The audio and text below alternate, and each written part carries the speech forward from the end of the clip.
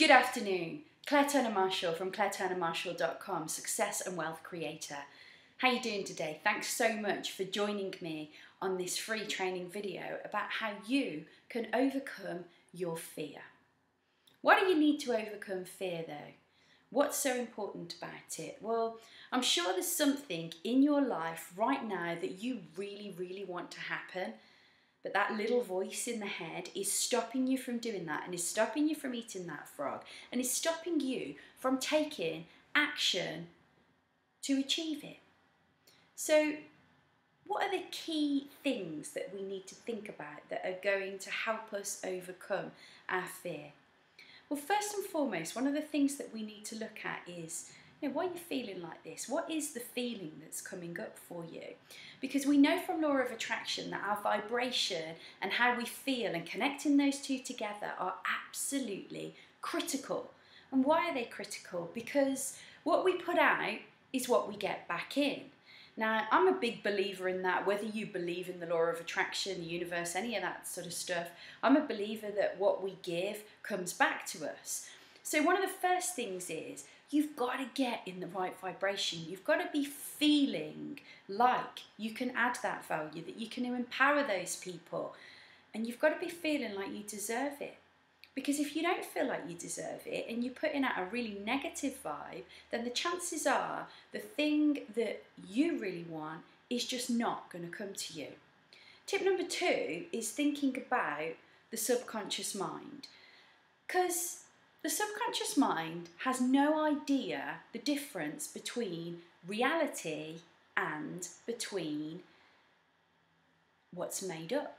It doesn't know any different. And how do we know this? Well, let's put it like this. When was the last time you went to go and see a movie?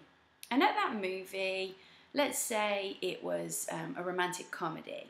At some point in the movie, you probably found yourself getting really, really kind of het up and your heartbeat going because there was a critical point in the movie and, and you felt like you were totally in the screen with them, that you were there, that you were living that moment, and you got really, really emotional about it. Why did you get really emotional about it? Well, I would say because you were totally tuned in to what was happening with the movie. And the subconscious didn't know that it was just a movie. So, linking in the tip, the first tip, and this tip, you know, a lot of people say, you know, if you can't act as if, then feel as if. Well, that's what I'm talking about here.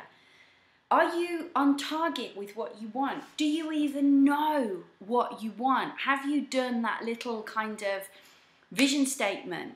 Have you written it down? Do you practice it on a daily basis? Is your RAS filter tuned in to the things that you really want to bring to you? Because if it's not, then that is another problem. It's about getting that clear, and we're going to cover that in a whole nother video, so be sure to come back and check it out. What happens next then is we've got to practice this daily because there's no such thing as an overnight success. There's no such thing as kind of, you know, making a load of money and being really, really successful and doing it overnight. All the stories that we hear where people have made amazing things happen in their life, guess what? They all took time. And the problem with a lot of people is, and believe me, I know this better than anybody, they're impatient. I'm impatient. But you know what? You've got to plant the seed, you've got to nurture it, you've got to get it to grow. And the only way that it's going to grow is by you giving it daily attention, being consistent, and making sure that you keep focused.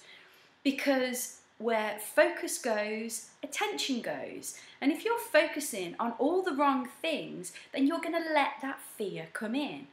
Now, Napoleon Hill told us that fear was a man made thing. If you've never read the book Outwitting the Devil, I would suggest that you read it because it's a really interesting read and it's very eye opening. And what Hill talks about in Outwitting the Devil is he talks about fear being merely a state of mind, and it's a state of mind that we human beings have created. So if we've created it, Does that mean that we can uncreate it? Well, absolutely yes, of course it does. It means that you can achieve anything that you want if you only put your mind to it. Now, your mind is the most powerful muscle that you have in your entire body. And we know this because when we get tuned in, tapped in, and turned on to the things that we really want, then all of a sudden, happens, doesn't it? They all start to come to us.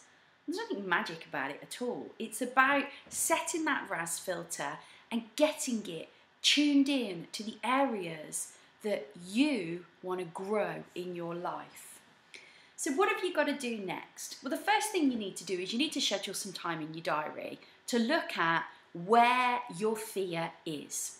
And how do you do that? Well, the first thing you need to do is get a piece of paper and just list all of the fears that you have come up? Is it fear of failure? Is it fear of not having enough money? Is it fear of not being good enough? Is it fear of lack of knowledge? What is your fear? What's going on for you right now? So make a list of them so you know what they are. Because once we know what they are, then we can start to take some action and do something to change them. So now you've made your list of your fears, what do you do next? Well, the thing that I always encourage my clients to do is to flip it. So change it. Replace it with a far more empowering thought than what you've got at the moment. So if you're fearful that you're not good enough, well, where's the evidence for that? What's telling you that you're not good enough? And look at it critically. Is it true or is it just that little voice in your head that's telling you this and you're choosing right now to listen to it. Because you don't have to listen to it. You can just step back from it and you can flip that thought. Because guess what? You are in control of what's going on in there. Nobody else, just you. So, because you're in control of what's going on in there, that means that you can change at any time. Now, have you ever heard about the 17 second rule with law of attraction? They say that if we can hold a thought for 17 seconds and then 17 more and 17 more and 17 more and 17 more until we get it up to 68 seconds, we actually switch onto the universe. This is what we want. It starts to listen and it starts to bring it to us. Now, when I first heard this, I thought, oh, okay, well, great, yeah, I'll try that. But what I was really struggling to do was actually maintain that one thought for 16 seconds. Because, you know, I originally interpreted it that I've got to sit there and think, um, R8, R8, R8, R8, R8, R8, because I want an R8. And I just didn't bring it to me what, what was going wrong. Well, the thing is, you don't hold that one thought for 17 seconds. You start in the place of where you want it to be. So, you know, here's a little example. I am moving every day in every way closer and closer to the things that I'm consistently asking for and the adventures that I want to have.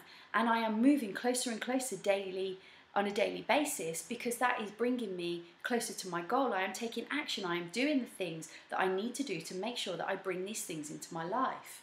When you start talking like that, guess what? After 17 seconds, another thought will come in and join the first thought, and then another one, and then another one, and they're all consistently moving in the same direction.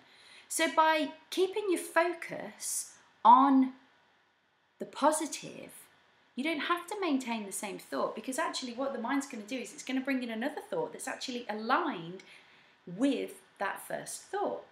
And when that first thought is the right one and is the positive one, guess what happens?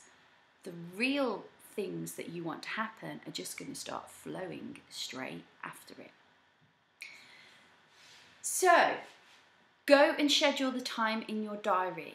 List the fears that you have. Look at how you can flip them and how you can change them into a more empowering belief around you and what you want. But most importantly, remember that you get one shot in this life. You get one shot to make it count, to make a difference, and to be absolutely all that you can be today. So don't leave this until tomorrow. If this is something that's been niggling you for quite a while, and if you've been in that rat race and in that circle and not really achieving the things that you wanted for more than a month, to be perfectly honest, then you need to take some action and you need to do something about it today. So set the time aside. Message me. Maybe I can help you. I'm an expert in this area because it's one of the key things that I get my clients doing. I get them in the mindset for success. And unless you've got a mindset for success, then I promise you one thing. You could watch this video 12 months from today and still be thinking the same things, doing the same things, and looking around at your life wondering why it hasn't changed and it's not different. Do you really want that to happen? I don't want that for you. You don't want that for you deep down. Where there is growth, there is always pain involved. And um, you know, when you're not feeling challenged, well, then you are obviously not pushing yourself far enough. So get outside in that comfort zone, change things, because you know what? This is your life. You are the one person that's got the ability to make huge change. Do it today. Pop some comments below. I'd love to hear how this video helped you. And I'd love to hear what fears you have overcome as a result of taking some action and doing something differently. Have an amazing rest of your day and whatever you do, be awesome. See you again in the next training video. Bye bye.